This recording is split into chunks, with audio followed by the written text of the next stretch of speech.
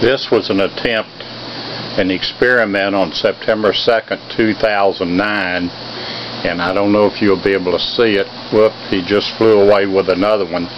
But to see if I could get him up close to my lens, this is being taken in Diane's garden in Waxahachie, Texas.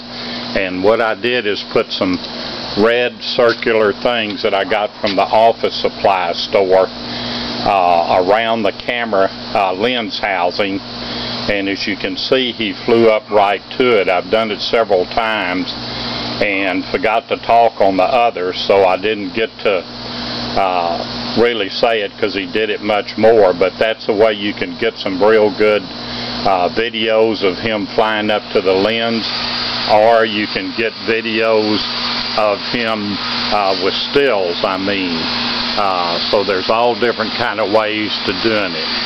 Well, I'm leaving Diane's garden and we'll go ahead and see if I can get this on YouTube.